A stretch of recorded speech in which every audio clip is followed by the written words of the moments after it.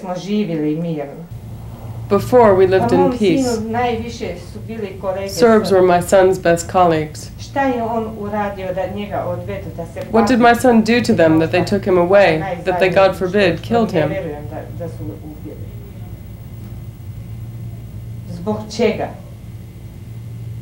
Why? Kad je s njima družio. Pa nama kolege su bili najbolje prijatelji. They were his friends.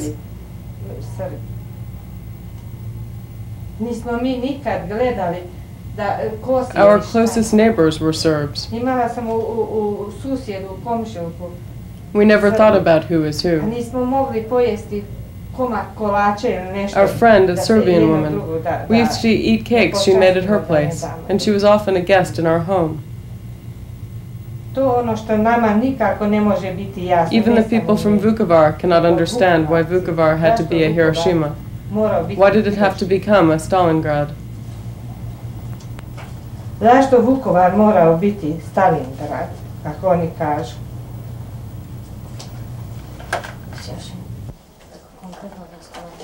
Jer šta smo mi?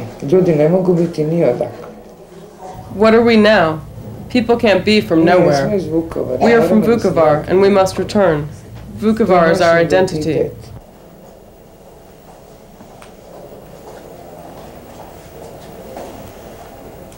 Šta mi možemo ovdje da radimo? U Hrvatskoj ima 700 tisuća prognanika. Mi živimo ovdje kao kavezi. Ljudi se zaista trude. What can we do here? There are hundreds of thousands of refugees in Croatia today. People suffer, and I can see the syndrome of ghettoization arising. Upravo zato, ne zato što nas Hrvatska nije primila, zato što su ljudi e, ovdje u Zagrebu da se ljudi hoće da nas It is not due to lack of care, since we were accepted here. It is se because we live in a horrible situation where nothing happens, nekakve- u nekakvu as if one was caught in a web, trapped, and unable to move forward or backward. That's how a ghettoization begins. That's one of the worst things that could happen to us.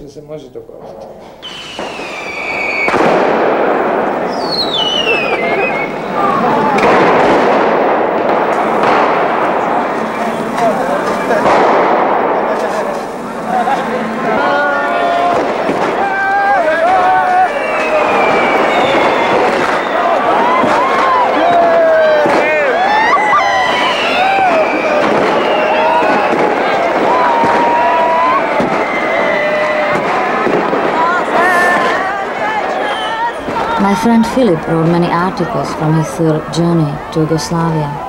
When we met in Prague, he told me he lost hope. But he still felt that if all what he was seeing the Western world could see, it might make a difference. He dreamt about making a documentary. When I returned to my studies at Columbia University in New York, it was hard to sit in my classes of international politics while watching the failures of diplomacy in former Yugoslavia.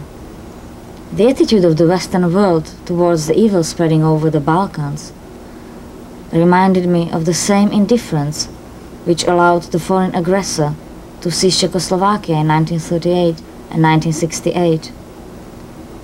To defeat a sense of helplessness, I decided to make this documentary with Filip. I was happy to find support for our project in New York. Our Czech friends, Vita and Vlasta, who felt as we did, joined us. We started in Prague. Do you realize that the war, which is in Yugoslavia, is only six hours by car from here?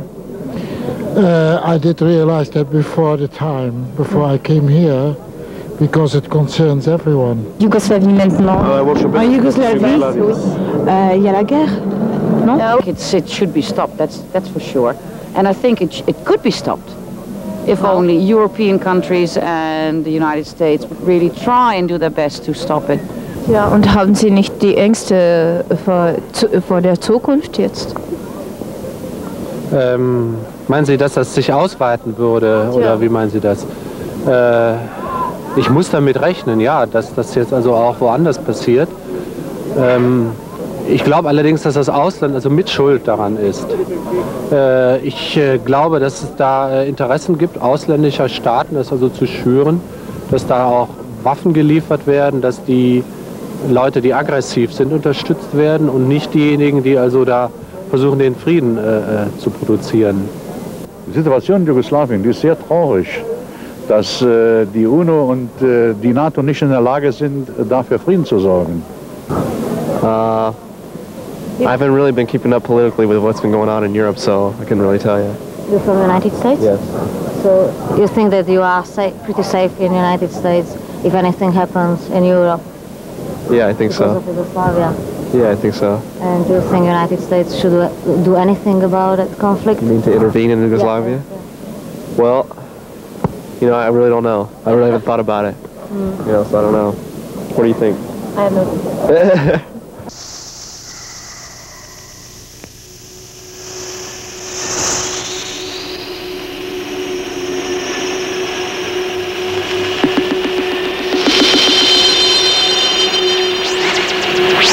institutionalize wars, making us believe it's possible to describe them in an objective way.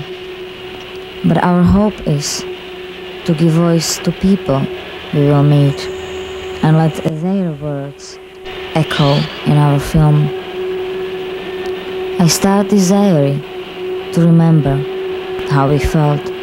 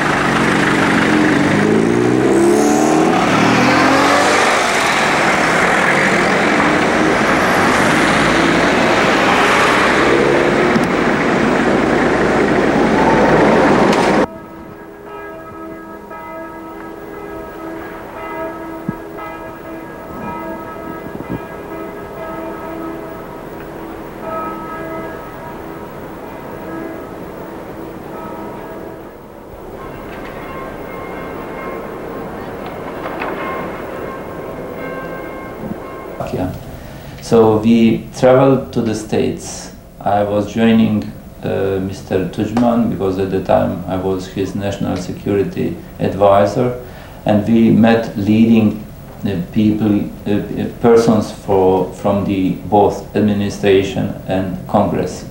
And we got positive response from the uh, people from, from Congress, but unfortunately Brent Scowcroft and Mr. Bush himself, both of, of them we met, and we had a very long discussion with uh, Brent Scowcroft, but they wanted at that time to preserve unity of Yugoslavia uh, under any cost.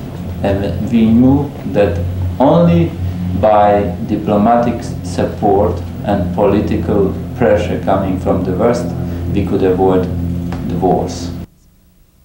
And suddenly you cross the bridge to the front line, and that's it.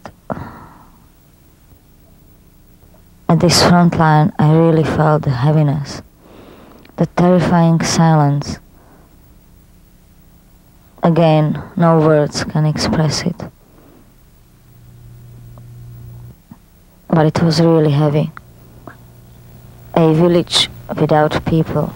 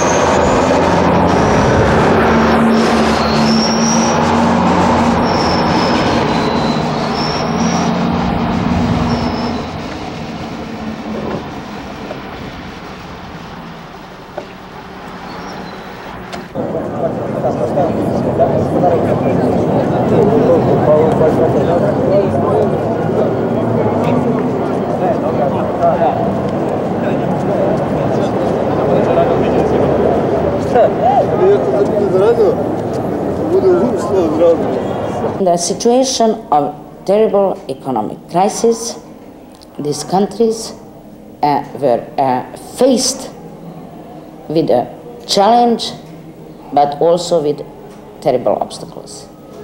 The West, unfortunately, did not understand the obstacles. The West thought it's enough to get rid of communism, and we are already on what we wanted to achieve.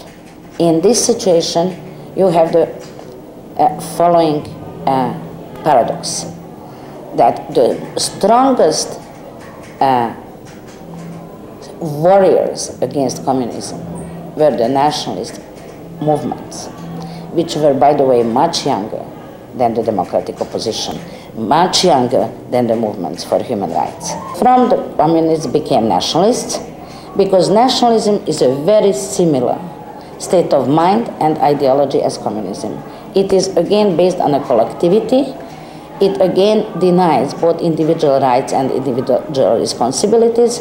It in fact doesn't uh, care too much about democracy and even less about an independent civil society.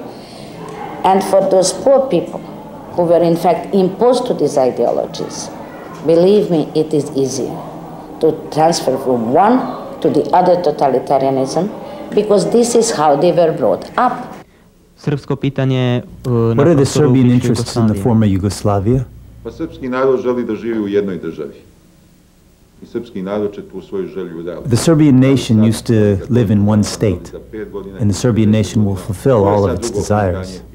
But it might take 10 or 50 years, since the whole West is against us, supporting our traditional enemies. All European countries side with our enemies except for Greece, Romania, and Russian people, though the Russian government is also against us. The whole Serbian nation lived in one state. That state was called Yugoslavia. Now the Germans broke it and want the Serbian nation to be pulled apart into more states. This will never happen. The Serbian nation managed to liberate 80% of its territory that had been on the Croatian side previously. Today this liberated piece of land is called the Republic of Srpska Krajina, and it's under the UN's control. I guarantee you it will never want to become part of Croatia again. Any referendum would prove that the Serbs living there want to live in our common state. The way the West designed Bosnia-Herzegovina in its plan is not feasible. Even if the Vance-Owen plan was accepted, such a state would not function. As soon as possible, Bosnia has to be divided into Serbian, Muslim, and Croatian parts. Serbs living in the former Bosnia-Herzegovina wish to live together with other Serbs. žele da se ujedine sa svim drugim Srbima.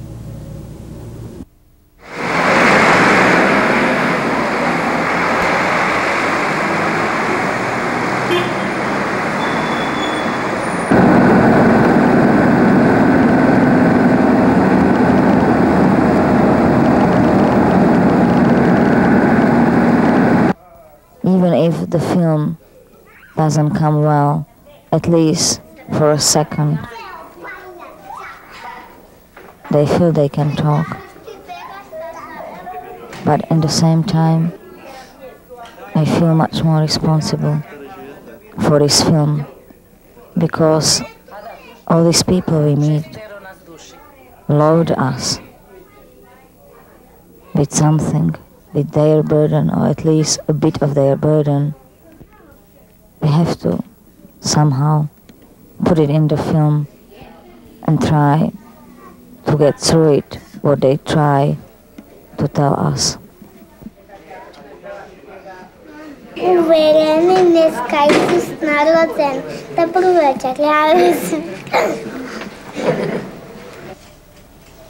To je njiva taktika bila naj, naj, najgore that was their tactics, to move us all out, or to kill us and move the Serbs in. That's how it happened everywhere. People here are from 16 houses, and we lived in peace. It never occurred to us that the Serbs might do such a thing to us. They came in a fruitful year. One of them, Žilko, came to me asking if I knew about any weapons. I said no. I never had a machine gun, and I even don't know how to operate it. But he said, You'll get it. You're lying. And he hit me. Do you have a machine gun? I said, No. You're lying. And he hit me again. He beat me so badly that for one month I was bleeding occasionally from my knee. They threatened us with guns to force us to sign that we would give them all our belongings voluntarily. But who would give up all their property? Još kad smo ušli u tamo, prvo nas pozvali da dođemo u tamo jedan dom. So we went as they called us into a house in our village. After I got in and had to stretch my hands up and turn my face to the wall, take everything out of my pockets. I turned around a bit and saw two more old people. And the guy with the gun shouted at me, What are you staring at?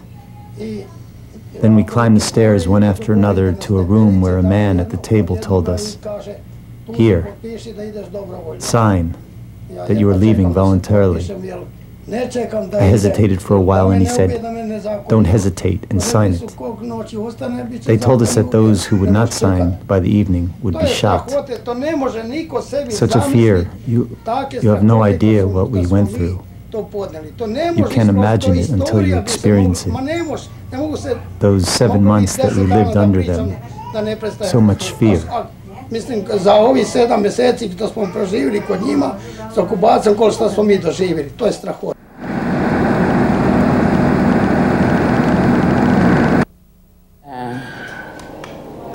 case of Vukovar is probably one of the most clear ones for establishing a paradigm on what has happened with this country. One side says it was conquered, the other one says it was liberated. And I cannot use either of these terms. You will see this kind of dichotomy almost everywhere.